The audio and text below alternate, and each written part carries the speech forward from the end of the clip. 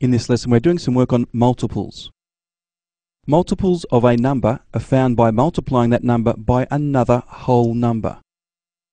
Alright, that's an important definition there. Let's look at some examples to see how it all works. We need to write the first 10 multiples of 3. Now it's very much like times tables. If you know your times tables well, the multiples will be easy. 3 is our first multiple of 3. Okay, 3 times 1 is 3. Then 3 times 2 is 6. That's our next one. The next one is 9.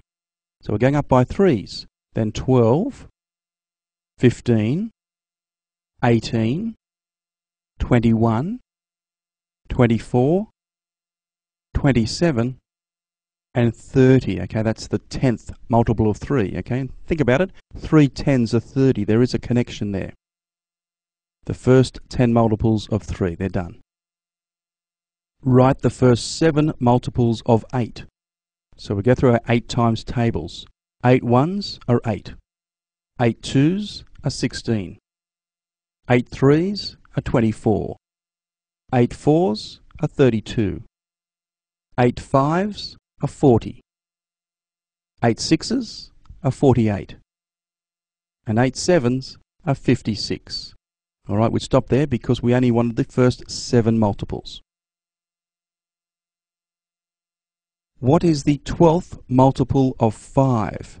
Right, there's a, a long way to do this and a short way, okay? I'm going to show you the long way, but then after that, from then on, we're going to do things the short way, the easy way.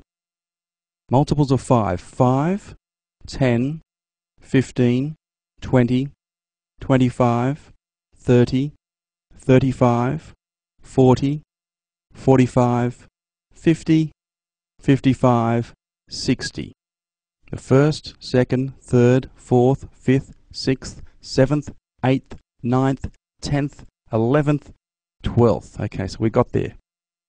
The twelfth multiple of 5, we can see then, is going to be 60. So let's write that down. Okay, now that's the long way of doing things. What about the short way? Well, the 12th multiple of 5. All we need to think about is 12 times 5. And 12 times 5, of course, is equal to 60. So that's the quick way of doing things. What is the eighth multiple of 9? Well, let's do it the quick way. Eighth multiple of 9, we're going to be thinking 8 times 9. And 8 times 9, of course, equals 72. So we can then say that the eighth multiple of 9 is 72.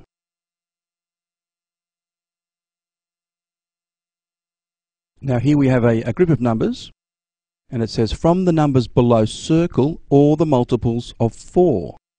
All the multiples of 4. Well, let's look at each one one at a time. 8. Now the way to think about it is, does 4 go into 8? Well, yes it does. So it would be a multiple of 4, okay? 8 is a multiple of 4. 45. Does 4 go into 45?